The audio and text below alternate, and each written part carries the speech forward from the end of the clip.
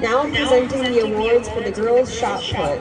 In eighth place, Kylie Wittenbell from Beaver Dam, throwing 37 feet 7 inches. In seventh place, Thea Kral from Ashwaubenon, 38 feet 1 and 1 half inch.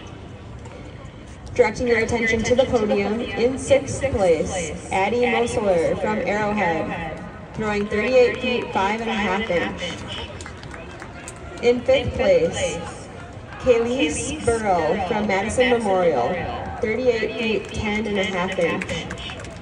In fourth place, Julia Missal from Mukwonago, 39 feet 8 and a quarter inch. In third place, Madeline Van Der Saden from Middleton, 39 feet 11 and a half inch.